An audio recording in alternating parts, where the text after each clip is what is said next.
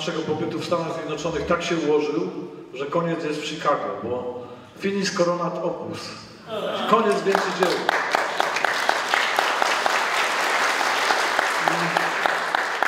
E, I, to, i, I, myślę, że najwięcej energii wywieziemy stąd, tak? Już to czuję, chociaż nigdy nie byłem wcześniej w Chicago, przyznam się, a jestem drugi raz dopiero w Stanach Zjednoczonych. Pierwszy raz się skończył tak, że gang Mokotowski wynajął na nas bandziora, żeby nas odstrzelił. To było w 2005 roku.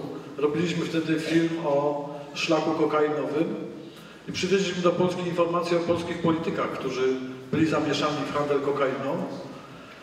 No, skończyło się tak, że wynajęli bandziora, ale Centralne Biuro Śledcze jakoś dobrze się spisało, jak widać, nic się nie stało. E, mam nadzieję, że tym razem konsekwencje będą większe, ale mniej e, drastyczne. Więc przyjechałem do Państwa, przyjechaliśmy do Państwa po to, żeby namawiać Was do buntu.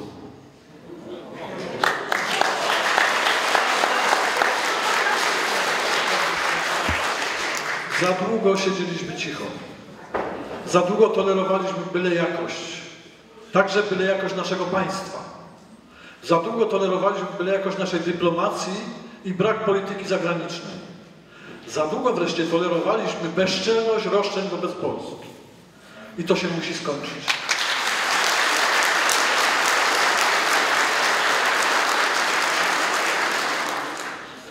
Ja y, jestem z Zakopanego, więc y, drogie mi jest y, pojęcie ślebody. Śleboda to szczególne rozumienie wolności. To rozumienie wolności, w której człowiek nie ma żadnego innego Pana oprócz Pana Boga. I tylko Boga się boi. I my powinniśmy już dziś podnosić głowy i je dumnie nosić. Bo to, co wypracowaliśmy wspólnie w kraju i to, co wy tworzycie tutaj w Stanach Zjednoczonych, to jest powód do dumy, a nie do biczowania się. Jeżeli jakikolwiek polityk przyjeżdża i mówi wam, że powinniśmy przeprosić, powinniśmy się wstydzić, to niech on się wstydzi. Bo my wstydzić się nie mamy za co. Jeżeli któremuś z polskich polityków wypsnie się, że Polacy są winni zbrodni w Jedwabnem, to należy zapytać, a dlaczego nie było ekshumacji? Bez ekshumacji nikt nie ma prawa obciążać Polaków żadną winą. Nikt nie ma prawa szermować hasłami, które od dawna tu się pojawiają, od czasów Jerzego Kosińskiego. Kiedy się pluje bezkarnie na Polskę, bo to nie boli. To musi zacząć boleć. To musi zacząć kosztować. I dlatego chcę Państwa namówić do kilku działań, które powstały w naszych głowach, ale myślę, że te działania będą nasze wspólne. Ale na początek o tej wolności. Otóż, dlaczego dziś tak ostro atakuje się katolicyzm? Dlaczego z różnych stron nadciągają i na Polskę, ale także na polską diasporę ataki chcące oderwać nas od Kościoła i Krzyża? Powód jest bardzo prosty. Jesteśmy jedyną religią, która stawia obowiązek bycia wolnym, nie prawo. My mamy obowiązek bycia wolnymi. I dlatego jesteśmy niewygodni. Bo ludzie wolni zawsze są niewygodni. Są niewygodni dla tych, którzy chcą nami sterować. Są niewygodni dla tych, którzy usiłują na nas zbijać pieniądze. I dlatego właśnie teraz, właśnie dziś musimy bronić podstawowych wartości, z którymi Polska jest związana. I taką wartością jest rodzina. Gdyby nie polska rodzina, zostalibyśmy dawno skomunizowani. Tak naprawdę z komunizmem wygrała polska rodzina. Dzieci indoktrynowane w szkołach, na zebraniach partyjnych, na zebraniach młodzieżowych, przychodziły do domu i słyszały prawdę. Od dziadków, od rodziców słyszały prawdę. I dlatego neomarksiści, którzy dziś usiłują na powrót e, wskrzesić tą zbrodniczą ideologię, tylko w lepszym opakowaniu, główny atak przypuścili na rodzinę. Bo wiedzą, że jak nie rozbiją polskiej rodziny, to nie dadzą rady opanować Polski. Dlatego powstała partia Wiosna. Za pieniądze, które domyślam się, że nie są z Polski i domyślam się, że mają odciski palców George'a Sorosza. Dlatego działa Gazeta Wyborcza, w której już są pieniądze Sorosza. Dlatego działa Fundacja Patorego, finansowana przez Sorosza. I dlatego Soros chce teraz kupić Radio Z w Polsce. A polski rząd udaje, że nie ma problemu, jest wolny rynek, pieniądze nie mają narodowości. Może nie mają narodowości, ale mają wyraźne odciski palców. I jeżeli Soros kupi Radio Z, to Polacy będą poddani jeszcze większemu praniu mózgów niż ma to miejsce teraz. A dziś już wiemy, że kto ogląda TVN, wie TVN. Kto czyta gazetę wyborczą, myśli gazetą wyborczą. Agresja, która jest przypuszczana na nasz kraj za pomocą skolonizowania rynku medialnego w Polsce, rozszerza się. Dziś z wielu miejsc płyną właśnie takie mądre, publicystyczne tyrady, mówiące o tym, że właściwie polskość jest niepotrzebna, że mamy być Europejczykami, a najlepiej obywatelami świata, że mamy zapomnieć o tych przesądach, które dotychczas nas więziły i wyzwolić się. Oni zawsze chcą kogoś wyzwolić. Chcą wyzwolić kobiety z rodziny, chcą wyzwolić dzieci spod kurateli rodziców. To w wielu krajach już ma miejsce, to widać, że tak jest. I chcą wyzwolić całą Polskę z niewoli przesądów. Ale jeżeli oni chcą to zrobić, to ja chcę być przesądem. I ja chcę wierzyć w te przesądy i chcę Państwa namawiać do buntu w imię tych przesądów ich zdaniem a dla nas rzeczy najświętszych. Polskę mamy tylko jedną.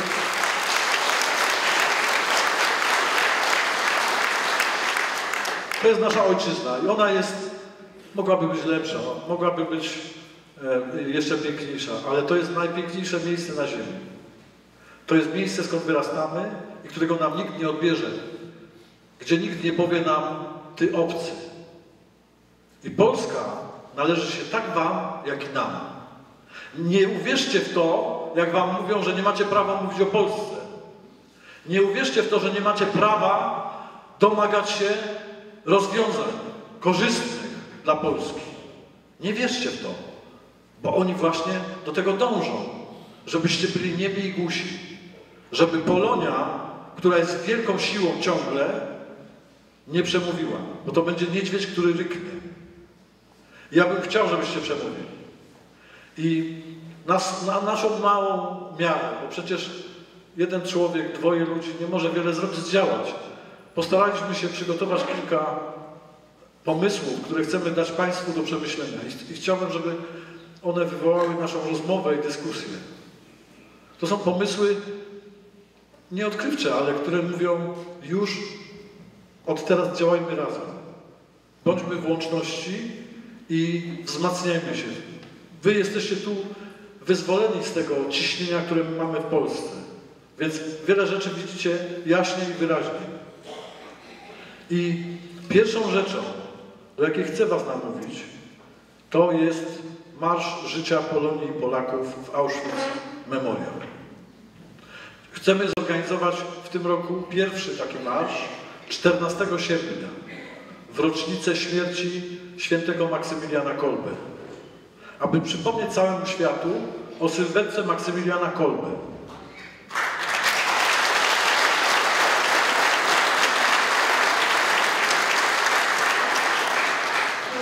Oczywiście to się nie podoba.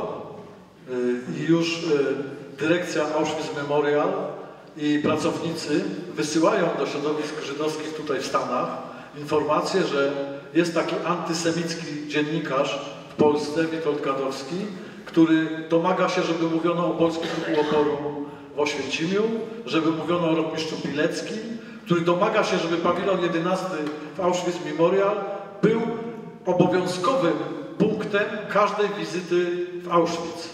Nie tylko wizyty polskiej, ale także tych, którzy idą w Marszu Życia swoim. Powinni przejść przez pawilon 11. żeby zobaczyć, jak było naprawdę i kto naprawdę walczył z Niemcami.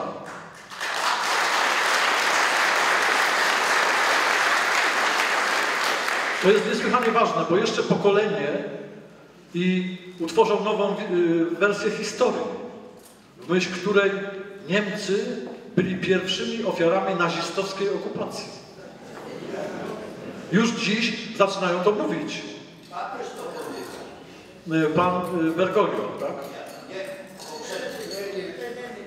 Benedykt. Nie, ja nie komentuję, jestem katolikiem i nie komentuję urzędu nauczycielskiego kościoła. Chociaż mam oczywiście swoje osobiste zdanie. Ważne jest, żeby ta wersja historii, która bardzo pieczołowicie była przygotowywana od dziesięcioleci, nie wypaliła i okazała się porażką. Porażką Niemców. Niemcy w bardzo sprytny sposób zaczęli tworzyć nową wersję wydarzeń II wojny światowej. Po cichu wywozili archiwa, wypożyczając je, dokumenty oryginalne świadczące o niemieckich zbrodniach na terenie Polski. Mnóstwo takich dokumentów wyjechało i nie wróciło. Nikt w Polsce za to nie odpowiedział. A to jest kradzież. To jest okradanie nas ze świadectw historii przeszłości. Wyobraźcie sobie, że wywiozą wszystkie oryginały dokumentów z II wojny światowej. I za dwa pokolenia, może za jedno, powiedzą przecież w Polsce to polscy naziści e, mordowali Żydów. A my powiemy, nie, nie, bo słyszeliśmy, nasze dzieci, wnuki, słyszeliśmy, że było inaczej. Pokażcie dowody. A dowodów nie będzie. A dowodów nie będzie. I dlatego to trzeba zatrzymać. Trzeba być wyraźnie, mocno wyczulonym teraz na manipulacje historią, które odbywają się oczywiście z różnych środowisk, ale dwóch na pewno. Nie możemy pozwolić na to, żeby obarczyć nam jak, nas jakąkolwiek winą. My walczyliśmy z hitlerowcami, walczyliśmy z Niemcami. Podczas gdy ci, którzy dziś mówią o swoim wyłącznym prawie do męczeństwa, pokornie milczeli. Jak zerwali się do powstania, to walczyła garstka. A my walczyliśmy przez całą wojnę. I dzisiaj o tym nie mówi. Nie mówi się o bohaterstwie naszych przodków, a nasi przodkowie na nas patrzą z coraz większym wyrzutem, że jesteśmy biedni, że pozwalamy. Na miejscu pana premiera i polskiego rządu, a szczególnie pana prezydenta, bardzo mocno bym się wpatrzył w to spojrzenie. Bo myślę, że w ich twarze wbite jest już palące spojrzenie naszych przodków. To jest zbyt poważna sprawa, żeby na niej uprawiać politykę. Dlatego, jeżeli Państwo potraficie, dacie radę, e, macie takie plany, to spróbujmy 14 sierpnia przemaszerować w Marszu Życia Polonii i Polaków w Auschwitz Memorial. Nie będzie to jakaś wielka feta, bo to też i nie miejsce na fety. Nie będzie to jakaś wielka uroczystość, ale mam nadzieję, że będzie świeże, ożywcze wydarzenie, doświadczenie, które da do myślenia wielu politykom i Polakom. Przejdziemy z flagami biało-czerwonymi pod ścianę straceń, gdzie Polacy śpiewali hymn i odśpiewamy hymn. I nie interesuje mnie to, że pan dyrektor Cywiński zakazuje śpiewania hymnu pod ścianą straceń. Może sobie zakazywać. Oczywiście postaramy się o oficjalne zgody. Postaramy się, żeby nie było żadnych zatargów. Poprzedzimy, poprzedzimy marsz mszą świętą, żeby w dobrym duchowym orężu przejść przez to upiorne miejsce. Świat musi usłyszeć o tym, że Polacy jako pierwsi stanęli do walki z totalitaryzmem. I że do dziś walka z totalitaryzmem jest dla nas ważna. I dlatego, zwłaszcza w ostatnim czasie, kiedy mnożą się wypowiedzi ubliżające nam i nie ma na nie dostatecznej reakcji rządzących, tym głośniej powinniśmy krzyczeć i mówić. bo to nie jest kwestia polityki. Historia i prawda nie podlega polityce. Dlatego spróbujmy to zrobić. Inny pomysł, drugi pomysł, już bardziej z marzeń, ale chcę, żebyście Państwo się nad tym zastanowili i powiedzieli, czy, czy on ma sens. To pomysł, żeby w Warszawie powstała Światowa Ambasada Polonii. Ufundowana przez Polonię.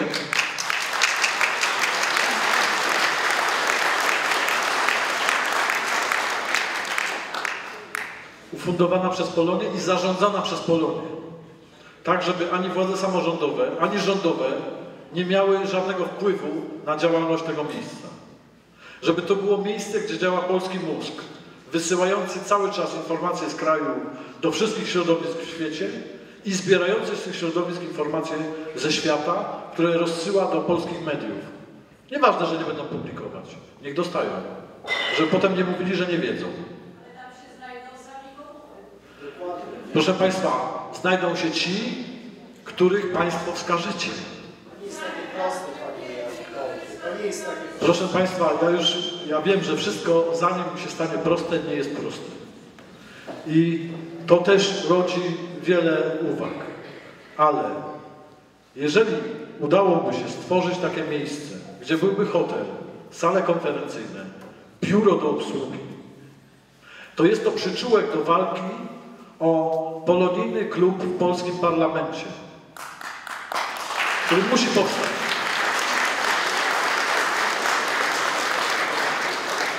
Musi zostać zmieniona ordynacja wyborcza. To też jest długa walka, żeby to zrobić. Ona trwa z różnymi efektami, na razie słabymi. Ale musi zostać zmieniona ordynacja wyborcza tak, żeby Polonia mogła wybierać swoich reprezentantów w polskim parlamencie. I jeżeli będzie taki klub, nawet nieduży, polskiej Polonii w Senacie i w Sejmie, to będzie to klub, który patrzy na ręce e, politykom w kraju. Oni tego bardzo nie chcą. Wierzcie mi. Bardzo tego nie chcą, żeby im patrzeć na ręce. To jest kwestia ordynacji wyborczej. Stworzymy projekt ordynacji wyborczej wspólnie i przekażemy do polskiego parlamentu, żeby to była inicjatywa ustawodawcza. Zobaczymy, którzy politycy się tym zajmą. Dlaczego dziś mniejszość niemiecka obligatoryjnie ma przedstawicieli w polskim parlamencie. Z jakiej racji? Zawsze jest poseł albo dwóch posłów e, mniejszości niemieckiej, a nie ma reprezentacji Polonii. Oczywiście to wymaga udziału w wyborach, który nie objawia się liczbą 28 tysięcy głosujących w całych Stanach Zjednoczonych. Ale myślę, że jeżeli to będą wybory przedstawicieli Polonii, według oczywiście określonych parytetów, to będą to ciekawsze wybory niż wybory przedstawicieli Warszawki, która i tak jest taka, że wybrała pana Trzaskowskiego. Ja rozumiem, że, to że wy głosujecie nogami i nie biorąc udziału w wyborach warszawskich, dajecie wyraz swojemu dezinteresmału wobec tego, co się dzieje w Warszawie. Ale czas, żeby zacząć chodzić, głosować. Bo ci, co nie głosują, nie mają racji, nie mają siły. Jest tak duże środowisko polonijne w świecie, ta diaspora polska, że ona musi być drugim płucem Polski. To drugie płuco Polski może naprawdę wtłoczyć dużo świeżego powietrza do kraju, którym czuć stęchlizną, w którym od okrągłego stołu do dziś te same twarze. Ci sami ludzie, jakby mieli patent na sprawowanie władzy.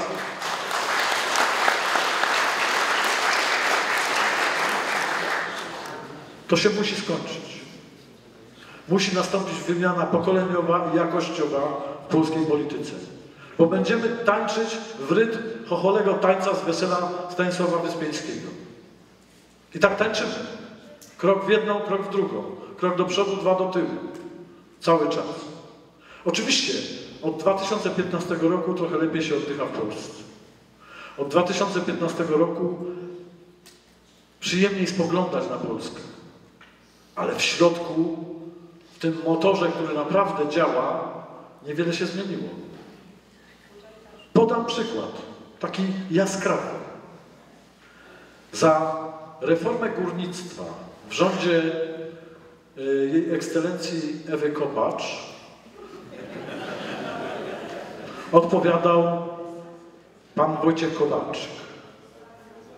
I pan Wojciech Kowalczyk również uzasadniał w Sejmie w imieniu rządu sprzedaż ciechu rodzinie Kulczyków. Zmieniły się władze.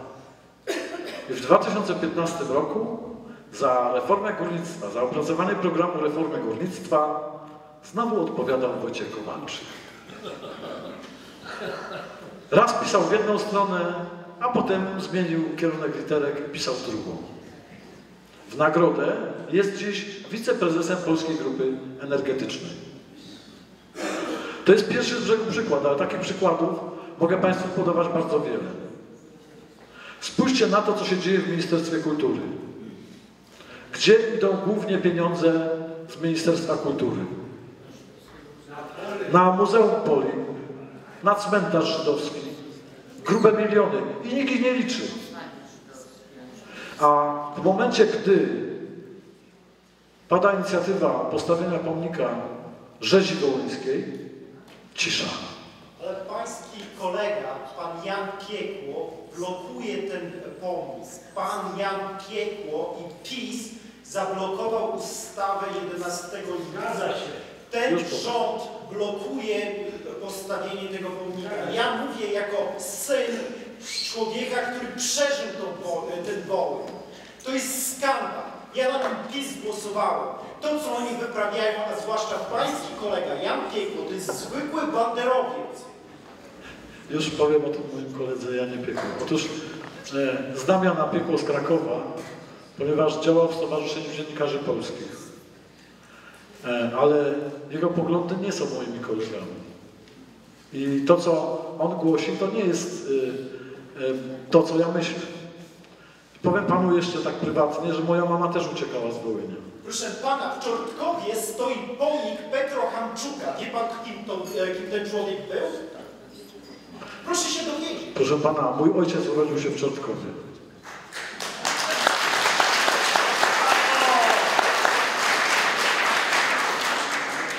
Podam przykład, który pokazuje też to, co pan mówi. Bo ja rozumiem pana rozżalenie. Jakiś czas temu w Polsce zaczął karierę robić zespół Enej. Młodzieżowy zespół Enej. Zastanowiło mnie, skąd taka nazwa. I znalazłem, że pseudonim Enej nosił pułkownik Petro Oliwnik, jeden z przywódców rzezi wołyńskiej. Nosił pseudonim Enej. W tym zespole grają potomkowie Ukraińców. Kiedy zacząłem o tym pisać z pewnymi wątpliwościami, to oczywiście spadła na mnie lawina, jak to młodzież mówi, hejtu. Że dopatruje się jakichś spisków, dopatruje się dziwnych rzeczy. My, opinia publiczna w Polsce, bardzo długo pozwalała na tego typu ekscesy. Oczywiście oni zaczęli się tłumaczyć, że to jest od Eneidy ukraińskiej. Słyszeliście o takim e, utworze Eneida ukraińska? Ja też nie słyszałem. Dzwoniłem do wielu kolegów, pytałem, nie, to jest bezczelne robienie tego, na co pozwala Polska. Jeżeli wsadzi się nowe drzwi, drzwi ustępują, to wsadza się całe ciało i tak dalej, i tak dalej. I oni tak postępują. Pomnik rzezi wołyńskiej autorstwa Andrzeja Pytyńskiego powinien stanąć w Warszawie na szlaku, który odwiedzają międzynarodowe wycieczki i powinien mieć tablice w różnych językach opisujące rzeź wołyńską, dokonaną przez Ukraińców.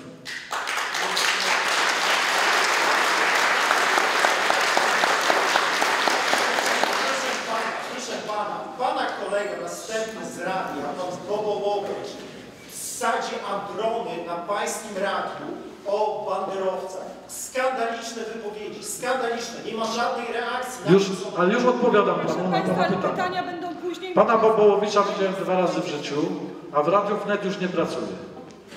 Nie pracuję, miał wywiad właśnie. Ja nie pracuję w Radiu Wnet. Ja ostatnio... E, Już nie prowadzę poranków w Radiu Wnet. wywiad z. Ale odpowiadam panu. Pan mi zadaje konkretne pytania, ja panu konkretnie odpowiadam. Nie pracuję w Radiu Wnet. Pana Bobołowicza widziałem dwa razy w życiu, nie jest moim kolegą. Dobrze, ale no bo to się prze, y, przerodzi.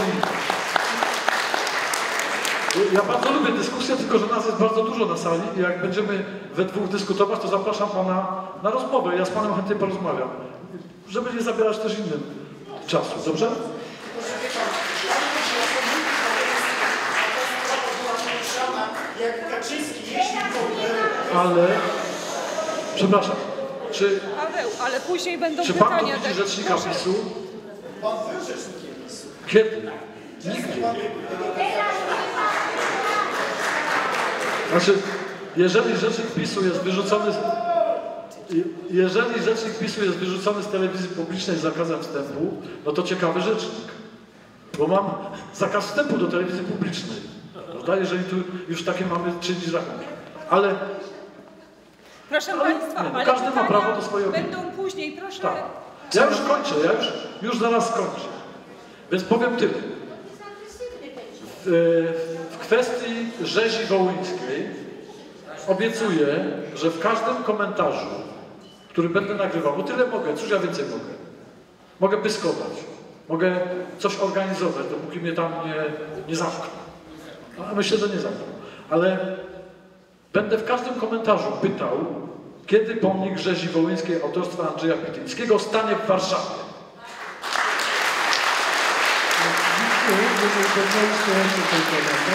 Czy... Witku, Tak? pozwolisz dwa słowa do Pana. Tylko już, bo ja tylko jeszcze powiem o... Ale no dobrze zresztą. Znaczy ja chciałam tylko Panu powiedzieć, że jeżeli poruszamy, przyjechaliśmy tutaj to my poruszyliśmy temat że pomnika rzezi wołyńskiej razem z dyrektorem e, Gadowskim, to oznacza, że my tego pomnika pragniemy. Nie ma zgody na to, żeby w Lublin, w miejscu, gdzie się urodziła pani Anna Walentynowicz, powstawał pomnik Bandery, tak? I polskie władze nie reagują na to zupełnie, żeby y, tutaj liczyły się z, jak, z, jakimś, z jakimiś elementami political corre- correctness i nie dopuściły do tego, żeby ten pomnik stanął. Wszyscy będziemy walczyć o to, żeby ten pomnik stanął i tu Pana uspokajam, że redaktor Gadowski na pewno będzie stał na czele tej bitwy. Znaczy, ja nie chcę, nie chcę tutaj uchodzić za jakiegoś prowodyra różnych zdarzeń, ale skoro e, słyszę milczenie w kraju, to zaczynam mówić głośno ja. Może nie jestem najbardziej predestynowany do tego, żeby podnosić te wszystkie kwestie, ale skoro milczą, to mówię. I będę mówił o tym pomniku i będę z uporem maniaka to drążył, tak jak z uporem maniaka drążyłem mniejszą, małą sprawę Bogatyni. E, To się związało z panią Magdą Żółk i z tym wszystkim, co się stało, ale jak pamiętacie Państwo, krytykowałem burmistrza Bogatyni, zarzucając mu, że jest kryminalistą. Burmistrz Bogatyni kilka dni temu został aresztowany przez, były burmistrz już, bo przegrał wybory, został aresztowany przez Centralne Biuro Śledcze. Także czasami, nie mówię, że to ja zrobiłem, bo oczywiście to by było już y, zbyt pyszne, ale czasami taki głos wołającego na puszczy się przydaje. I tak było też z pawilonem 11. Zacząłem mówić o tym, że tam, y, że jest zamknięty, rzekomy remont, rzekome rzeczy tam się dzieją, y, które pan dyrektor Cywilski musi poprawiać i cichaczem w lecie e, zeszłego roku otworzono ten pawilon do zwiedzania. No to już i tak dobrze. Teraz eksp... ekspozycja dotycząca polskiego ruchu oporu i walki z, ze zbrodniarzami niemieckimi powinna być tuż przy wejściu do Auschwitz Memorial. Tam jest miejsce tej ekspozycji, bo to jest polskie miejsce. I nie jest tak, jak chce pan Johnny Daniels, że Auschwitz ma być eksterytorialny. To jest jego nowy projekt.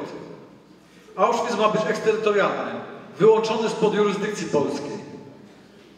To jest skandaliczne, ale skandaliczna jest obecność pana Danielsa w Polsce.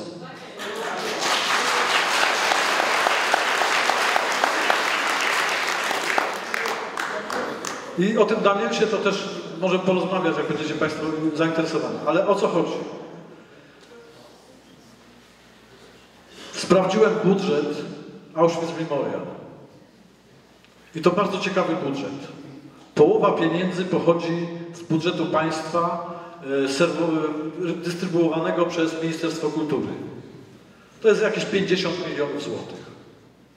Tyle polskie państwo co roku płaci na utrzymanie Auschwitz Memorial. Druga, mniejsza połowa, 40 kilka milionów, to są dochody własne muzeum. I jak myślicie Państwo, ile pochodzi z darowizn tych słynnych fundacji? W roku 2012 e, pochodziło z 15 fundacji 700 tysięcy złotych. Także z Fundacji Laudera. 700 tysięcy złotych. To dobrze rządzić za nie swoje pieniądze. W nie swoim kraju. I my na to pozwalaliśmy. To się musi skończyć.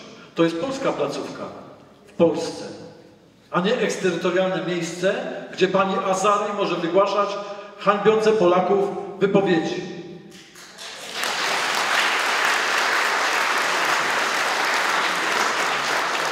I wszystko się od tego zaczęło, jak Państwo pamiętacie. Pani Azari wystąpiła, nie została wyrzucona z Polski, bo po tym wystąpieniu powinna zostać uznana za persona non grata i wyrzucona z Polski. I koniec. Zero dyskusji. Tymczasem ta pani do dziś pełni funkcję ambasadora Izraela w Polsce i coraz bardziej śmiało sobie poczyna. No bo jak jest miękko, to nóż wchodzi. Ale tu już musi być twardo.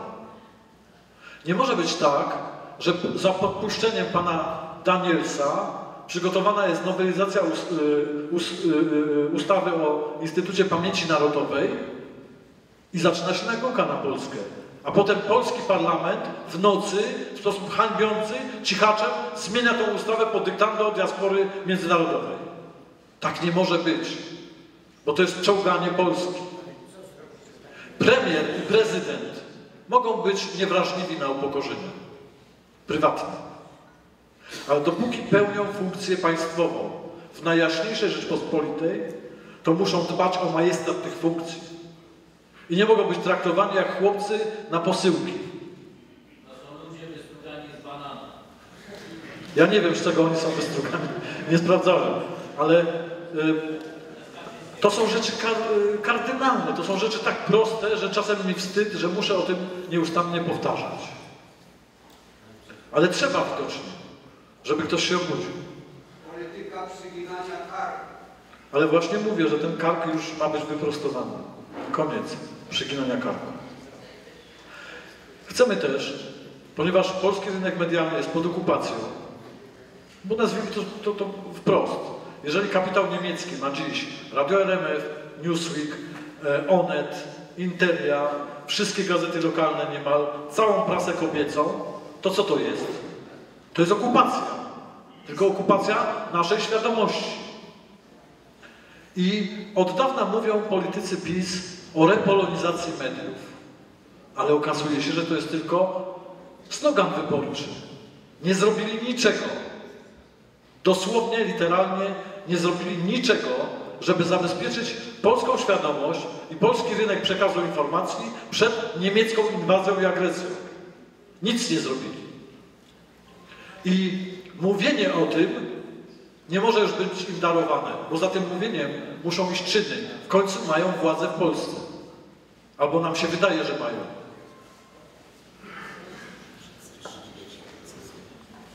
Jeżeli nie obronimy polskiego rynku medialnego, Niemcy bardzo wyraźnie dbają o swoje interesy na rynku medialnym. Tam obowiązuje ustawa, której w Polsce nie chce się zatwierdzić, bo będzie Rada Europy protestowała.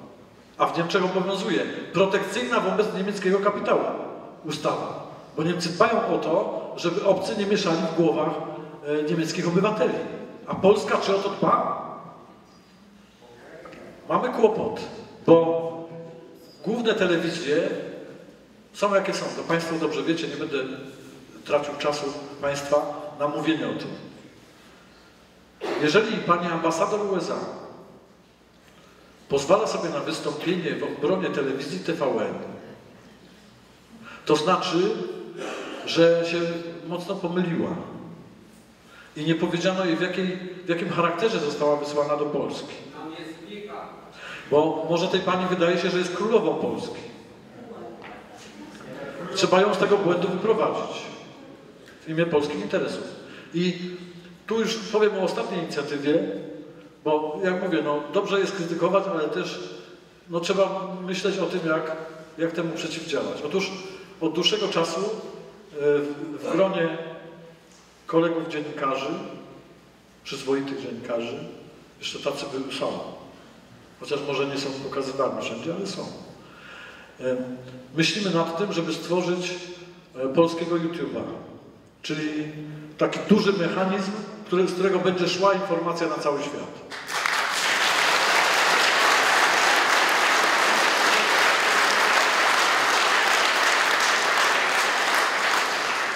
To oczywiście jest dosyć szalony pomysł, bo wymaga ogromnych pieniędzy, wymaga ogromnej wiedzy, ale od czegoś trzeba zacząć. Zawsze się zaczyna od pomysłu.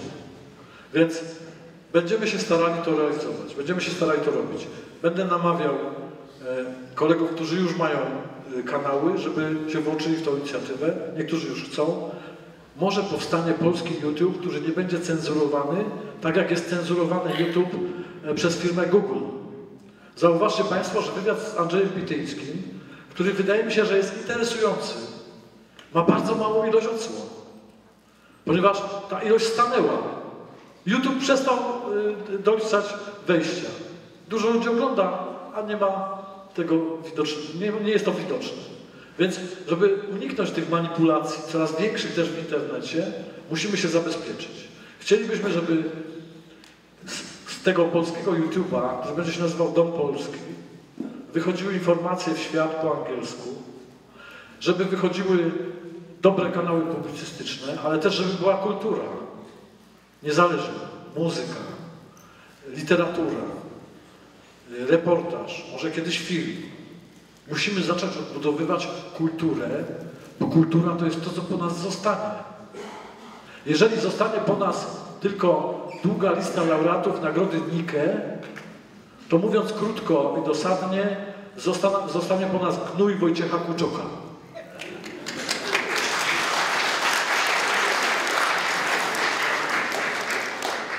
Wielokrotnie cierpko wyrażałem się o panu wicepremierze Glińskim, a dziś powiem, że ten człowiek jest pierwszym do dymisji w tym rządzie.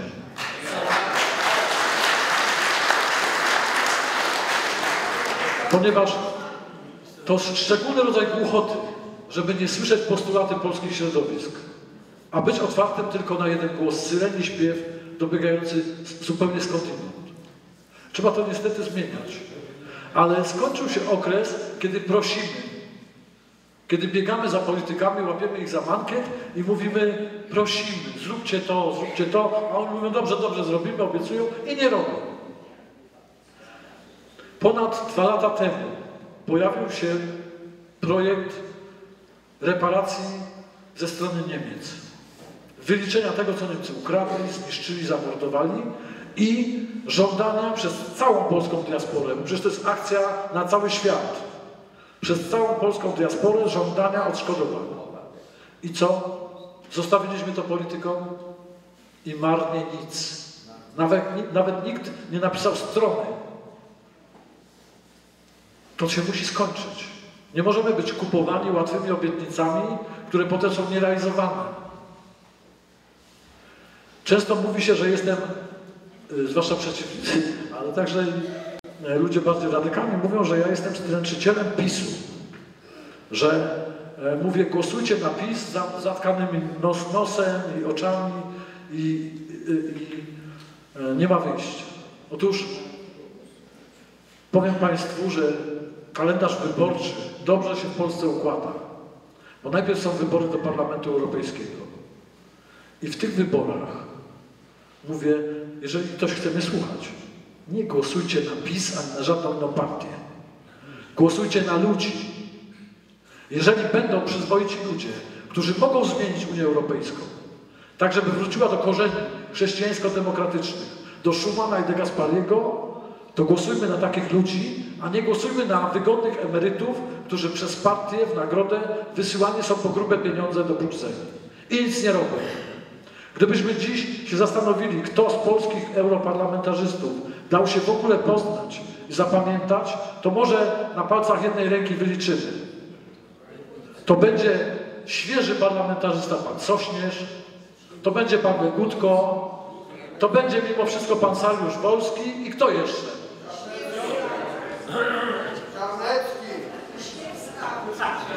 Może jeszcze kilka osób, tak? A, a jest ich tam kilkudziesięciu. Co oni tam robią? Poza tym, że kasują grube e, wypłaty. Koniec. Skończył się okres łatwych wypłat, które funduje polski naród. Spróbujmy budować presję. Nie będę tanio nawoływał Was do jednoczenia się, do zapomnienia o waśniach, bo to byłoby niegrzeczne, bo ja przyjeżdżam do Was, żeby się czegoś nauczyć. Więc nie, nie mogę Wam przywieźć recepty na to, jak polska diaspora ma być silniejsza i bardziej wydolna. To Wy musicie zrobić. My w Polsce, znaczy my, ja, Pani Małgosia, ktoś jeszcze, będziemy, się, będziemy Wam pomagać. Będziemy nagłaśniać Wasze inicjatywy. Ale te inicjatywy muszą wyjść stąd. Wy jesteście bliżej kongresu, wy jesteście bliżej dachu świata. Ten, to oko polskie musi być bardziej wi, le, Żądania. nie kongresu żydowskiego, tylko kongresu Stanów Zjednoczonych. Proszę Państwa, bardzo się cieszę, że trochę Was rozbawiłem swoimi e, czasami naiwnymi pomysłami, e, ale e, na tym zakończę e, to, co na początek e, chciałem powiedzieć, a chciałem Was skłonić do dyskusji, a może i rozpalić i, i e, skłonić też do krytyki. Więc teraz porozmawiajmy i e, ani Pani Małgosia, ani ja nie boimy się żadnych e, wypowiedzi. Odpowiemy na każde pytanie. Jak nie będziemy wiedzieć, powiemy, że nie wiemy. Ale chcielibyśmy do Polski wrócić z Waszą energią. I dlatego przyjechaliśmy na koniec właśnie do Chicago i kłaniam się Państwu głęboko.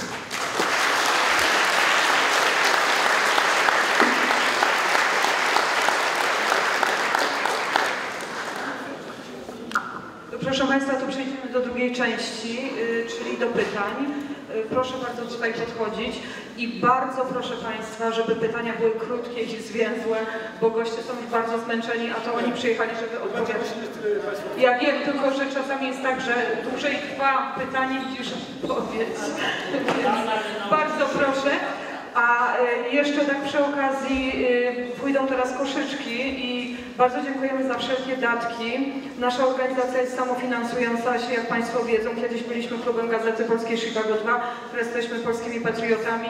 Nigdy nie braliśmy pieniędzy z konsulatu, ani za, tamtej władzy, ani za tej. Wszystko, co organizujemy tutaj, wszelkie protesty, spotkania y, i tak dalej, robimy to z Państwa datków i z naszych prywatnych pieniędzy, więc z góry Państwu bardzo dziękuję za wszelkie datki.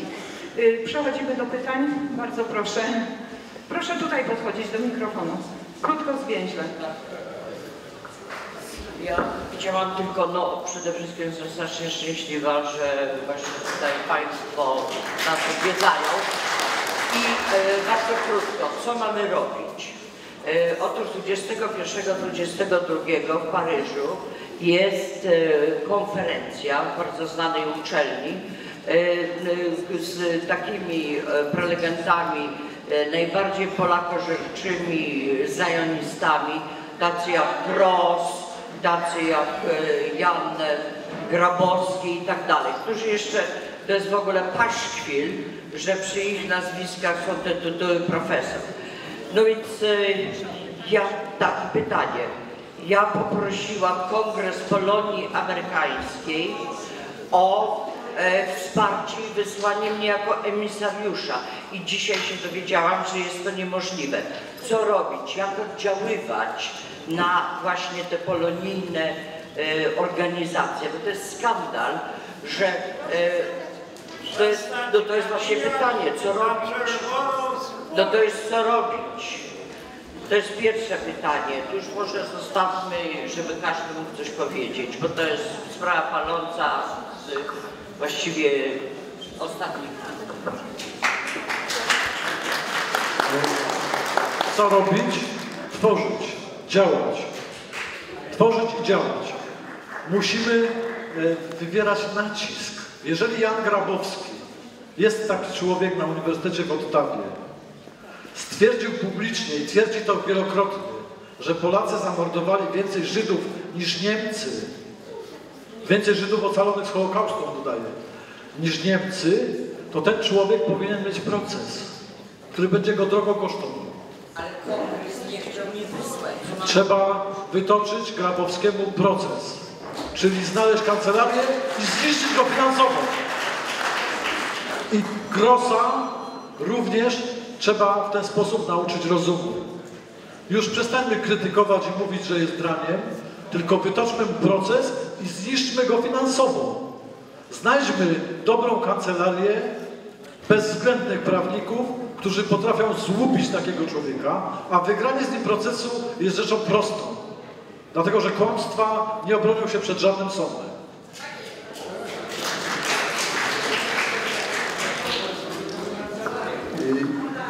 Dzień dobry, witam teraz przez mikrofon. Paniesko Mariusz Łuczkiewicz, to dla Pana i dla tych, którzy są tutaj służbowo, bo są, są służbowi też y, działacze. Y,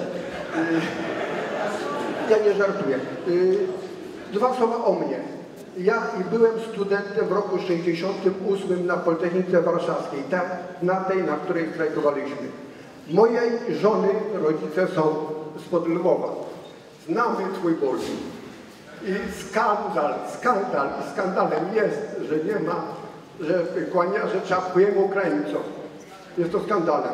Ale nie mniejszym skandalem jest fakt, że na dworcu głównym w Warszawie prezydent Polski, pan doktor praw, razem z magistrem historii, panem premierem, 8 marca roku ubiegłego posypywali głowę popiołem przed tablicą, na której był napis, że stąd y, w wyniku wydarzeń marcowych, proszę uważać, marcowych, zostali wyrzuceni z Polski ci, którzy wzięli mniej niż zostawili. Z tym ja się zgadzam, bo oni, y, y, przepraszam, wycenia marcowe. W wyceniach marcowych broniliśmy relegowanego pana Adama Michnika, który nie wyjechał z Polski, bo, mimo że był prześladowany. Ale nie broniliśmy pana Stefana Michnika, który z Polski wyjechał, bo mu Gomułka pozwolił dnia y, na posiedzeniu 8 ale kwietnia, więc mówimy o wydarzeniach marcowych. Jest to większy skandal.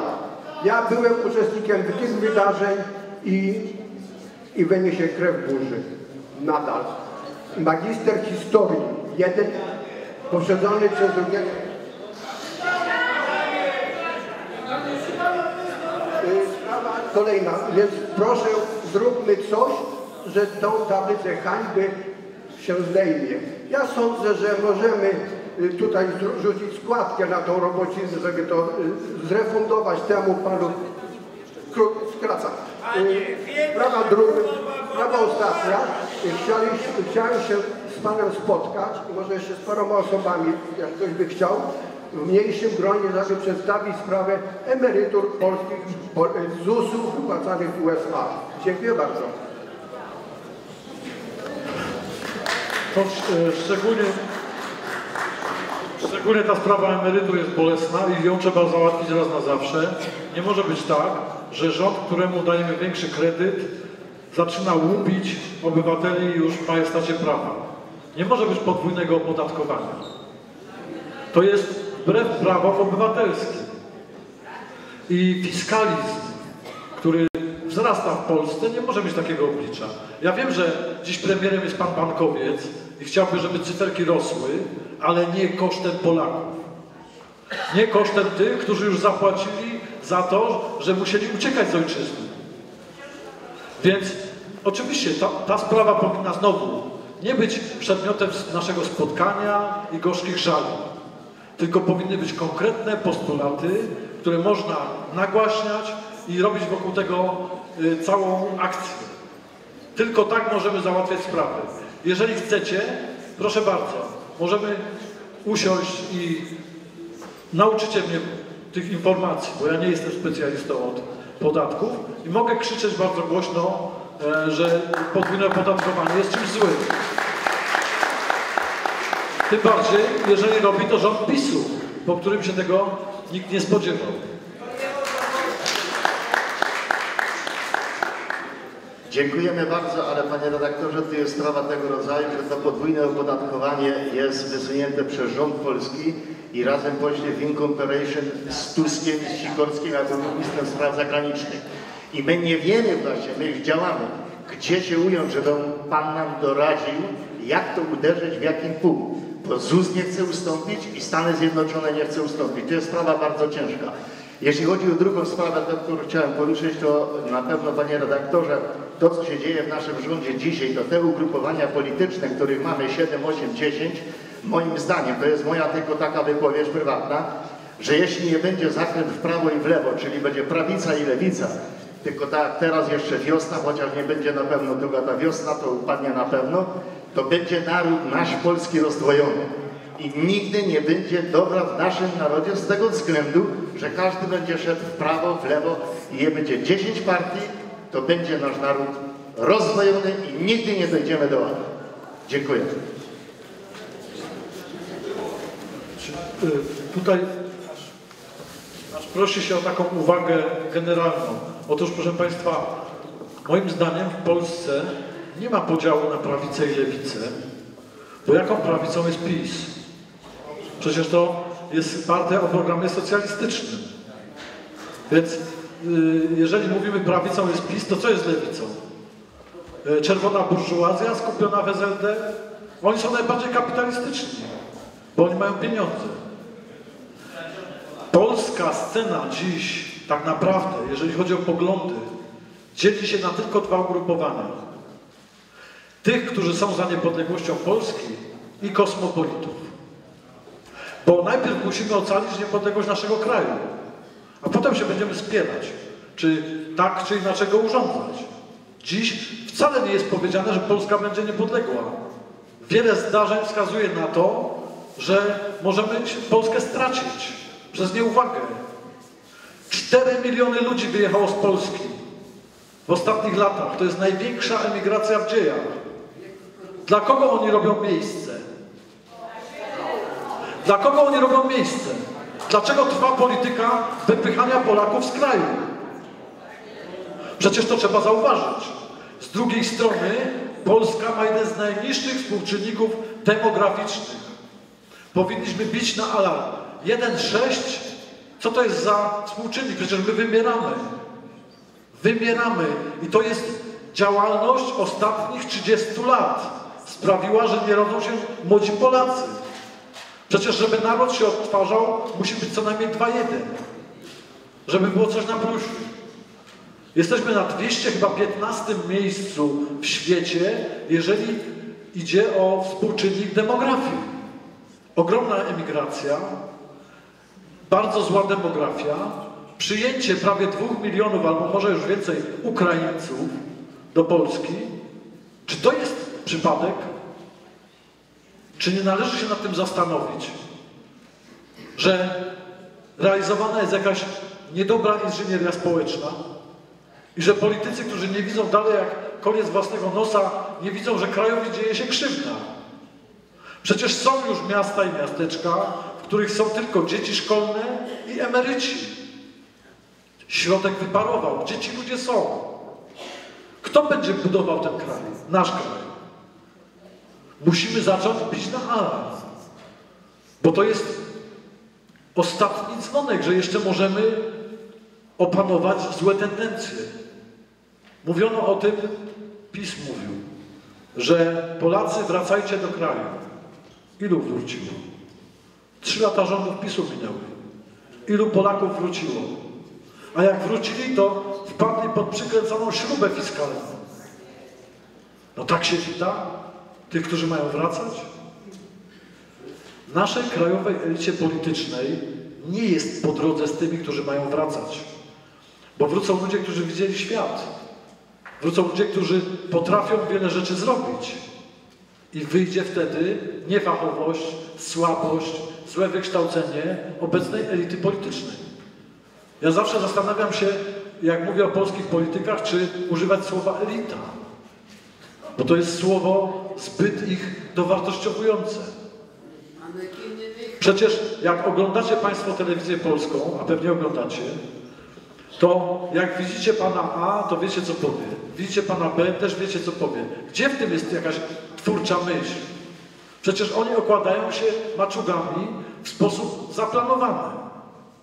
Przecież to jest już nudne, te ich spory i te argumenty używane w tych sporach. Gdzie jest jakaś kreatywność? Gdzie jest duch nowej Polski?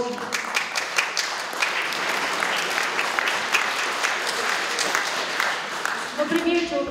Panie redaktorze, czy mógłby Pan skomentować apel rządu i poszczególnych polityków o pojednanie narodowe wewnątrz społeczeństwa, między y, partiami, ruchami, ugrupowaniami, organizacjami politycznymi? Na jakiej zasadzie? Totalna opozycja rzuca broń i podporządkowuje się rządowi. E, następuje podział stanowisk w rządzie 50 na 50, a może rząd, a szczególnie naród ma iść na kompromis z totalną opozycją. Po styczniu 2018 roku i kardynalnym potraktowaniu społeczeństwa, kolejnym rozdziale utracie suwerenności, z kim my się mamy jednać? Proszę Państwa, pozwólcie mi na dosyć frywolną uwagę. Otóż e, żyję już trochę, jak obserwuję świat, to zauważyłem, że wolna miłość jest źródłem wielu wstydliwych chorób.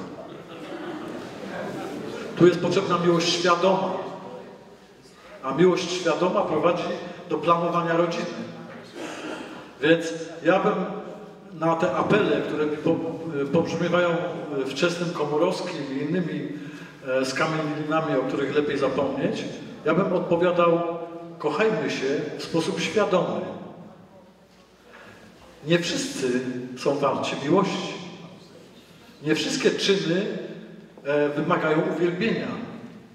Najpierw, żeby się pojednać, potrzebne jest wyznanie win i szczery żal za grzechy. A bez tego nie ma mowy o żadnym pojednaniu, bo będziemy popierać złe czyny. To tak jak nas uczą lewicowcy, którzy się wykształcili w katechizmie. A szczególnie im pasuje jedno stwierdzenie, że Pan Jezus mówił, żeby nadstawiać drugi policzek. I co dyskusja z kimś lewicowym, to mówi, no przecież wy musicie nastawiać drugi policzek. Otóż, tak, mamy nastawiać drugi policzek, ale tylko wtedy, jeż- jeżeli nie doprowadzamy do zepsucia tego człowieka. Jeżeli go nie rozzuchwalamy w tym, co robi, to wtedy tak. Jeżeli, ma, jeżeli nasza postawa go nauczy i ulepszy, to wtedy trzeba nastawić drugi policzek. Ale jeżeli widzimy, że ten ktoś się tylko rozzuchwali jak nas palnie, to musimy mu oddać jeszcze mocniej, bo to dydaktyka jest.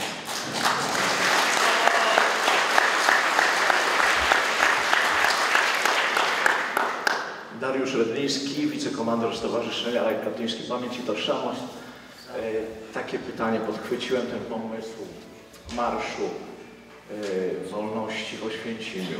E, Ze względu na to, że e, wielu z nas nie będzie mogło przyjechać do Oświęcimia, czy nie byłoby dobrym pomysłem rozszerzenia tego marszu na całą Polonię? Czyli na przykład w tym samym czasie e, żeby odbył się ten marsz w Oświęcimiu, ale zróbmy go w Stanach, w Kanadzie, w Brazylii.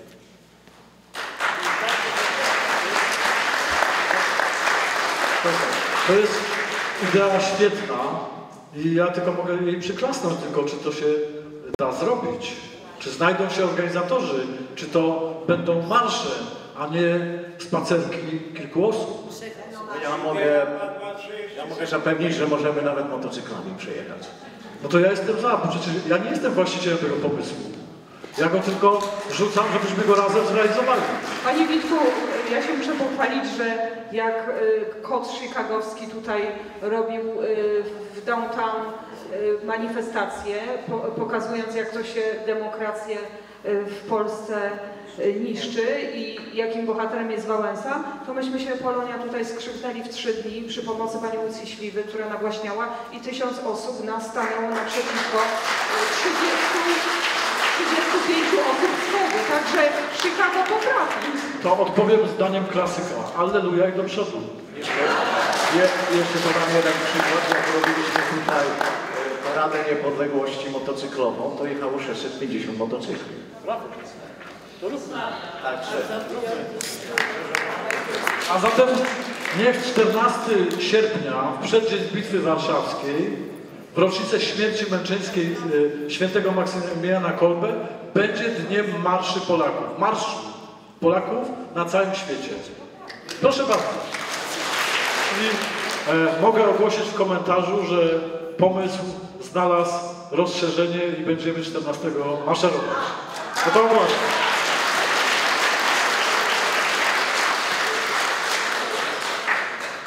Witam Panie Witoldzie w Chicago, a nazywam A ja bym chciał przypomnieć taką sprawę Czortkowa. Pana ojciec się urodził w Czortkowie i Pan dokładnie zna e, historię powstania czortkowskiego, tak? To by była bardzo dobra inicjatywa przypomnieć to powstanie e, na szerokiej arenie i powiedzieć, ki, e, kim byli kaci w tym więzieniu w Czortkowie, skąd oni się wzięli, jak, jak się nazywali, co się z nimi stało e, po 1940 roku, e, po czerwcu 1940 roku. Dla, e, jeszcze jedna rzecz. Trzeba też powiedzieć wszystkim, z kim się spotkał pan Kuchciński w Truskawcu. I to jest bardzo ważna sprawa. Może powiedzieć. No, spotkał się z Szuchewiczem, e, z synem kata Polaków, który e, był odpowiedzialny za rzeź Polaków w, e, Małopolsce Wschodniej oraz e, na Wołyniu. Tam w Truskawcu Kuchciński prawdopodobnie z, z przyzwolenia Kaczyńskiego oraz Dudy spotkał się z tym bandytą i zresztą banderowców. Tam uzgadniali uwalenie uchwały 11 lipca. Uchwały, która miała, nie tyle uchwały, ustawy, bo jest różnica między uchwałą a ustawą. Ustawy, która miała upamiętnić Polaków pomordowanych właśnie w Małopolsce Wschodniej i na Wołyniu. Tak wygląda PiS. Tak PiS kłamie ludziom prosto w oczy i pluje kresowiakom. Bo ci ludzie chodzili po, e, po e, kresowianach i, i, i, i mówili kresowianom, żeby głosowali na PiS żeby oddali głosy na PiS, bo będzie pomnik wołyński, bo będzie ustawa wołyńska, że będą Polacy godnie uhonorowani. Co się stało 11 lipca w momencie, kiedy dostał PiS e, e, władzę, napluli Polakom w twarz, właśnie tym kresowianom. Tak wyglądał, e, e, tak wygląda właśnie PiS. Proszę Państwa, y, no, pewne rzeczy nie podlegają dyskusji. Fakty są faktami. Y, Tylko proszę o jedno. Ja już więcej robić nie mogę. Ja już jestem Zosia Samosia, sam piszę książki, wydaję, robię filmy, zbieram na to pieniądze, y, robię różne rzeczy, ale jeden człowiek to jest za mało. Jeszcze nie najbardziej rozgarnięty przecież. Więc proszę Państwa, żebyście się angażowali w takie inicjatywy i je po prostu rozszerzali. Co do Czortkowa. A komu dziś ktoś broni, żeby napisać monografię powstania, pierwszego powstania przeciwko Sowietom w 1940 roku w Czortkowie? Nikt nikomu nie broni. Należy to zrobić. Mamy Instytut Pamięci Narodowej, a niechże się wezmą do roboty. To jest niezwykle wzruszająca historia powstania licealistów, którzy zostali zdradzeni i większość z nich przypłaciła to życiem, inni katorgą, zesłaniem. Bardzo wzruszająca, niezwykła historia. Jak patrzy się na twarze tych młodych ludzi, to nie sposób opanować łzę. Taką mieliśmy młodzież. I tą młodzież wytraciliśmy wtedy. I dziś musimy dbać o to, żeby, żeby ta, ta Polska rosła.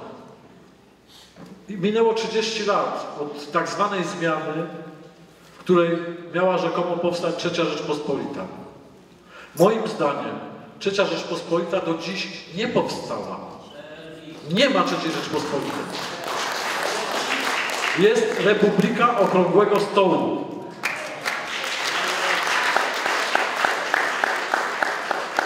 I żeby skończyć z Republiką Okrągłego Stołu, musimy skończyć także z jej symbolami. Dlatego najbardziej, już tu jak byłem w Stanach Zjednoczonych, podniosło mi ciśnienie, podniosła mi ciśnienie informacja, że pan prezydent Duda zamierza postawić pomnik Tadeuszowi Mazowieckiemu. To jest skandal. To jest po prostu skandal. Bo to jest fałszowanie historii. Komu pomnik stawiać? Komuś, kto pisał, żeby ukarać śmiercią biskupa Kaczmarka? Komuś, kto pisał y, paszkwile na żołnierzy niezłomnych, żądając kary śmierci dla nich? Takiemu człowiekowi, którego wybrał Kiszczak na premiera, mamy stawiać pomnik? Człowiekowi, przez którego nie powstała w Polsce partia chrześcijańsko-demokratyczna, bo torpedował wszystko, co mógł?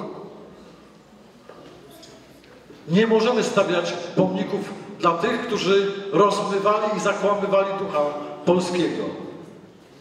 Zmarł pan, pan premier Jan Olszewski. Miałem to szczęście, że byłem jego młodym współpracownikiem w czasie jak był premierem i później jak organizował swoje działania polityczne. I jeżeli ktoś zasługuje na pomnik, to wydaje mi się, że to właśnie Jan Olszewski.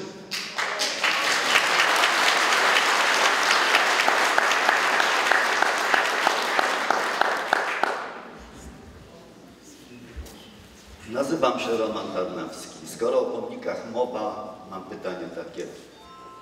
W przyszłym roku będzie 120. rocznica Bitwy Warszawskiej. Pan Jan Pietrzak wyszedł z propozycją zbudowania łuku triumfalnego z jednego brzegu Wisły na drugi. Miał pomysły jeszcze inne. Czy o, czy o tym, o jakimkolwiek pomniku teraz mówi się w Polsce, czy nie?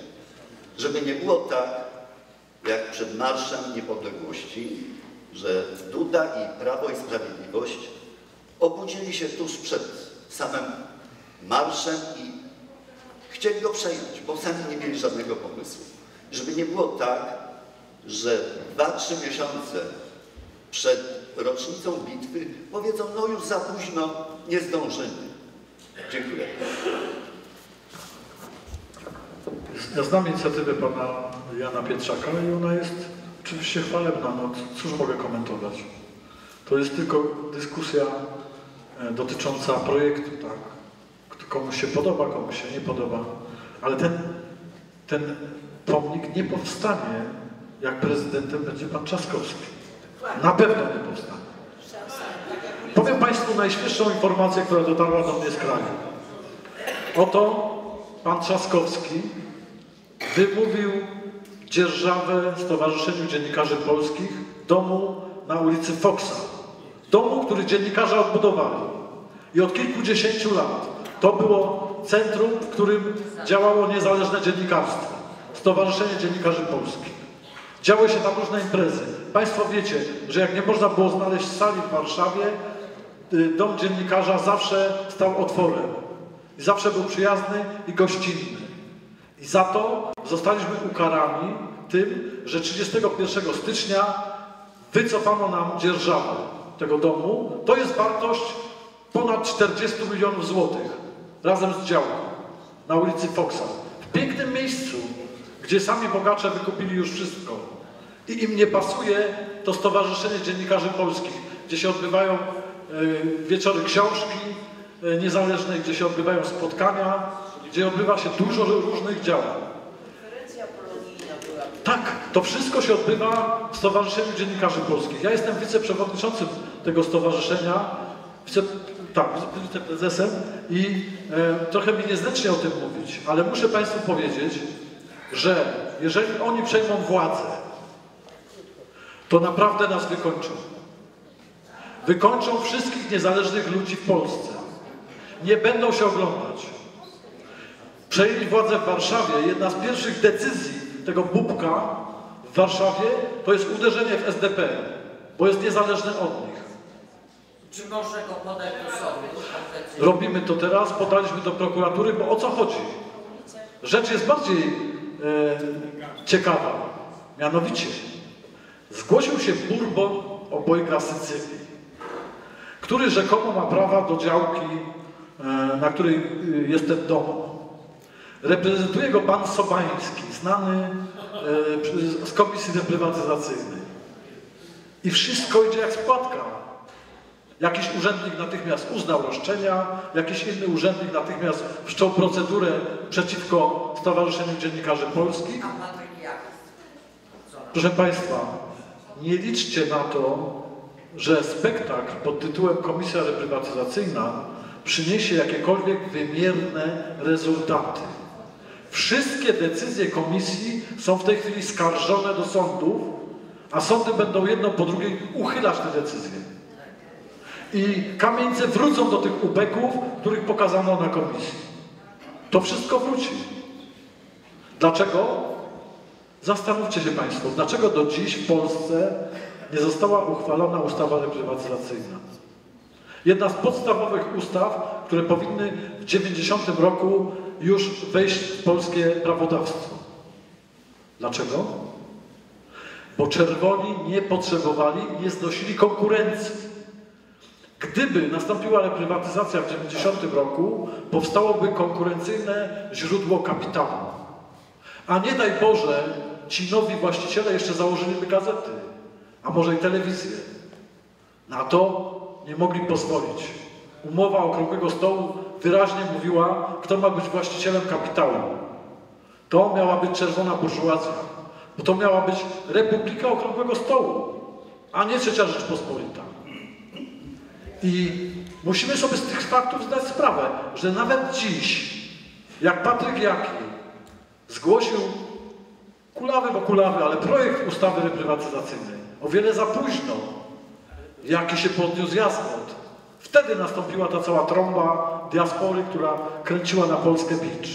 Dlaczego? Bo jeżeli obowiązuje prawo krajowe, to żadne roszczenia zewnętrzne nie mogą być rozpatrywane bez udziału prawa krajowego.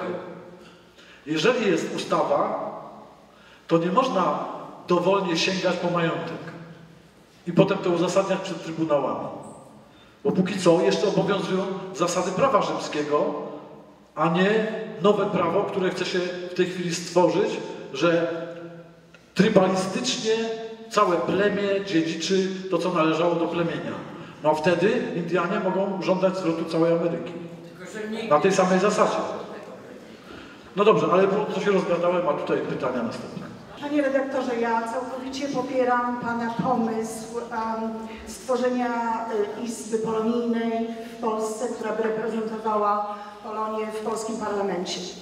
Świetny pomysł, ale musimy się zastanowić, kto, y, jaka Polonia będzie nas reprezentowała. Wszyscy wiemy, że Polonia jest podzielona i em, musimy być czujni, kogo wybierzemy, kto będzie nas reprezentował. Często tak jest, że do reprezentowania pchają się ci, którzy nigdy nas nie powinni reprezentować. I jeśli będą to na przykład niektóre, niektóre osoby z Kongresu Polonii Amerykańskiej, to biada nam, uchowaj Boże od takich reprezentantów. Proszę Państwa, mówię to z pełną odpowiedzialnością, ponieważ należałam do tej organizacji. Próbowałam zrobić coś dla polskich emerytów. Narażałam się i w końcu zostałam znokautowana. Rok temu. Wkrótce potem napisałam artykuł do kuriera mm, polonijnego, e, chicagowskiego, opisując, dlaczego z tej organizacji odeszłam. I jeszcze raz chciałam Państwa prosić, bo widzę tutaj dużo osób w wieku emerytalnym, bądźcie czujni. I jeśli będą nas reprezentować niestety osoby, które reprezentują e, pewne poglądy i należą do Kongresu Polonii Amerykańskiej, to po prostu uchowaj Boże od takich reprezentantów. Proszę Państwa, może, może ja jestem naiwny, ale ja sobie wyobraziłem tak. Ponieważ Chicago to jest ogromne skupisko Polonii, to dlaczego w Chicago ma nie powstać społeczny komitet budowy Światowej Ambasady Polonii w Warszawie?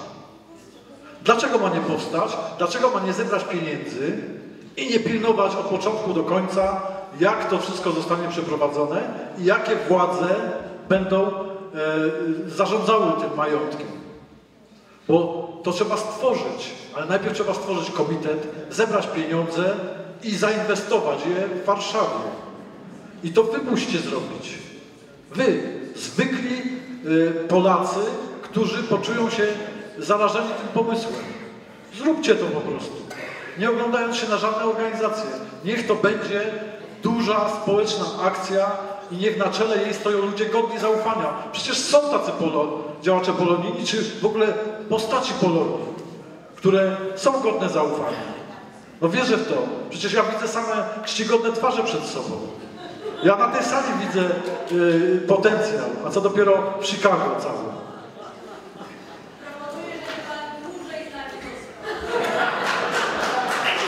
Proszę, proszę Panią, ja niedawno byłem dość długo w Iraku i jestem zaprawiony.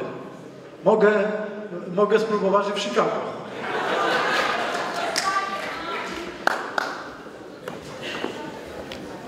Dobry wieczór. Panie redaktorze, ja mam prośbę, żeby zechciał Pan nam poradzić, na kogo w jesiennych wyborach Polonia powinna głosować, żebyśmy nie popełnili dwóch błędów. Po pierwsze, żebyśmy nie, nie zgubili swojego głosu głosując, a po drugie, żebyśmy się nie przyczynili do powrotu PO. Wypowiedziała Pani y, moje skryte myśli. Ja, proszę Państwa, nie jestem jakimś wieszczem czy mędrcem, e, który, przy, który przyjechał i powie Wam, to jest równanie na szczęście Polski. Opracowałem równanie, e, które e, gwarantuje Polsce szczęście. Jak ktoś taki stanie przed Państwem, to będzie albo geniusz, albo hochsztapler. Więc ja tego po prostu nie wiem. Dziś mam strasznie wielką zagwozdkę nad, y, łowiąc się nad odpowiedzią na Pani pytanie. Ponieważ ciągle o tym myślę. Z jednej strony, jak przyjdzie do władzy Ancien Regime, czyli Republika Okrągłego Stołu, czyli ZSL, SLD, e, Nowoczesna, Wiosna, e, Platforma Obywatelska, Unia Wolności, całe to towarzycho, które okupowało Polskę przez ponad 30 lat i widać jakie efekty są, jak oni przyjdą do władzy, to oni zniszczą polskiego ducha raz, dwa, trzy. W sensie instytucjonalnym oczywiście. Będziemy mieć gender, będziemy mieć seksualizację dzieci w szkołach, będziemy mieć aborcję na życzenie, będziemy mieć wszystko to, z czym walczymy. I będą zamykać księży w kościołach, wydrwiwać katolików, szydzić i pluć nam w twarz. Jeżeli im oddamy władzę. Nie możemy im oddać władzy. To jest pierwsza najważniejsza myśl. A teraz, jak im nie oddać władzy? Jak to tak przemyślnie skonstruować, żeby oni nie wzięli władzy? Z pozoru to równanie wydaje się niemożliwe. No bo jak nie PO, to PiS. Jak nie PiS, to PO, tak? Tak się polskie naczynia połączone utworzyły. Ale być może ktoś wepchał nas w taką logikę. Czasem jak człowiek idzie i napotyka ścianę z każdej strony, to zamiast siąść i płakać, powinien spojrzeć w niebo. I tam jest wyjście. I tam jest ratunek. Musimy uwierzyć w to, że nie jesteśmy tylko rzeczywistością duchową. Ja jestem oskarżany często, że głoszę taki współczesny mesjanizm. Ale przecież Spójrzcie na sytuację Polski w Europie. To jest ostatni kraj katolicki, który pozostał w Europie. Niewycięty, niewyplewiony. Polska dziś jest jak Wandea. Kiedyś. Tylko los Polski nie może być taki jak los Wandei. Nie możemy dać się wygnieść i wytracić. Musimy przejść do ofensywy. Nie możemy bronić twierdzy. My musimy zrechrystianizować Europę, bo to jest nasz obowiązek. Historia na to wskazuje. Zobaczcie. My nie jesteśmy narodem wybranym dzięki Bogu, ale jesteśmy narodem wskazanym do bardzo ważnego obowiązku i nie powinniśmy się bać. Powiedziałem kiedyś o takim, o rzeczy, która mi się przyśniła, ale ona krążyć zaczęła. Zaczęła żyć swoim życiem. To jest ta wielka pielgrzymka z Częstochowy do Santiago de Compostela przez całą Europę. Z krzyżami, z Maryją, rzesza ludzi.